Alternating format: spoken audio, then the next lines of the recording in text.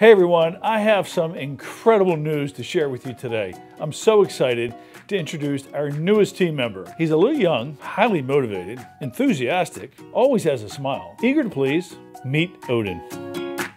Our son Robert brought home this 10 week old, beautiful German Shepherd puppy and then proceeded to head back to Miami 24 hours later so we got to take care of this puppy for the next five days. So Tracy and I, for the past week, have been getting up in the middle of the night, early in the morning, taking him for walks, feeding him. He peed on the floor, he chewed my shoes, but other than that, he's an awesome dog. and thankfully now, he is a Florida resident living in Florida with Robert in Miami. We do miss him.